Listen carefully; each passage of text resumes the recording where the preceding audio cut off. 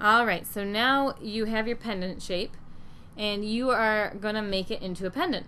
So the first thing you're going to do is turn it over and write your name on the back.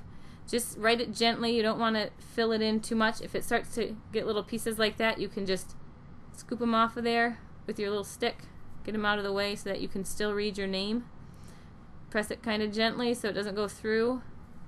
Mrs. Andrews. I'm going to write Mrs. A. Just write your name on there. Anything. And then I'm going to turn it over. And on this side, I'm going to carefully poke a hole through the top of it because that's where our pendant is going to hang on the string or on the keychain. So I'm just going to use the point and I'm going to kind of twist it as I go so that it doesn't make the whole clay thing just go through and like bend in. So I'm just going to kind of twist it gently. And you can see it's all the way through. And then I'm going to take it back out.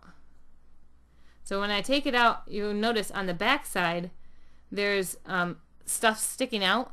You can see that sticking out there. We don't want that on there because it's going to make it really like sharp and jagged when we're done, um, when it's done cooking and hardening and everything. So we are going to take and we're just going to smooth that down with our finger. Get that all squished down. Can use a, just a tiny bit of water if I want to. Smooth it down. And then I'm going to poke through one more time because when I smoothed it out, it kind of messed up my hole. You want to make sure the hole is about the size, the same size as the, the stick because when you put it in the kiln and you and you fire that kiln and it makes it it hardens it it's going to shrink a little bit because the water comes out so it's going to shrink so we want to make sure that hole is plenty big enough so that when it shrinks we can still fit the string and everything through there. So now I have my pendant and I'm ready to start my design.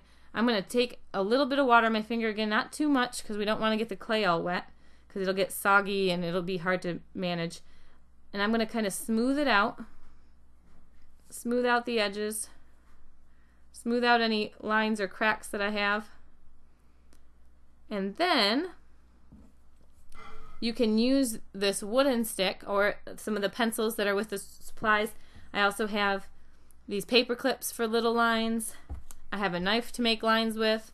Um, and you can go ahead and you can draw your design on there. So maybe I'm going to draw, I don't know, a house. Whatever your design is that you created that practice copy of. And you can see as I'm drawing it, the clay is coming up and making like a ridge there. I'm just going to take that off and put it on my cloth so it's out of my way. Right there it kind of came up. I'm just going to use the piece to get that off of there. So you can draw your design in like that.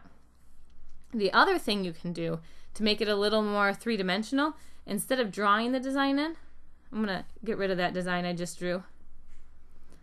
Instead of drawing the design in, I can actually make it out of clay. I've got the extra bit of clay. I'm going to make it out of clay so I can make whatever shape I want. So let's say, let's say I'm just going to make a wheel. So I'm making a sort of a circle shape. I can form this into the shape I need. It's going to make it whatever shape you need it to be. And then you're going to attach it on there. So in order to attach it and make sure it really sticks, what you're going to do is take and draw little lines on the back. Just gently, not real deep or anything, just real gently. And then I'm going to draw little lines wherever I want it to stick to. And then I'm going to get a little water on there. And that's going to act like glue. It's going to the water goes into those lines and they kind of work together like kind of like a combination of velcro and glue.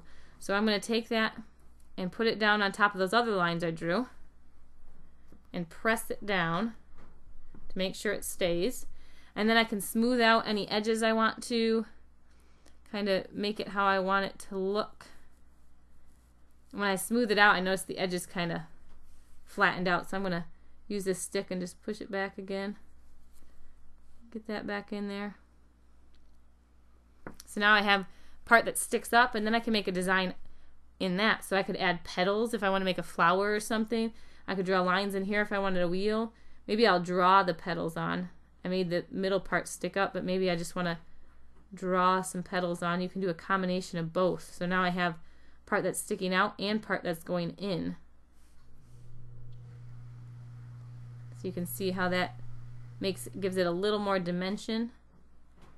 It's a little bit more three-dimensional now. Oh, that last petal is a little small. And then I'm going to make, I'm going to use the other end of the stick and I'm just going to make little dots in there.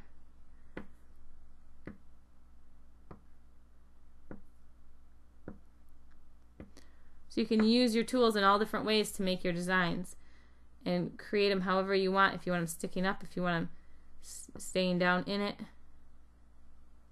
however you want to create your design. And then when you're completely done, make sure that you can still read your name on the back.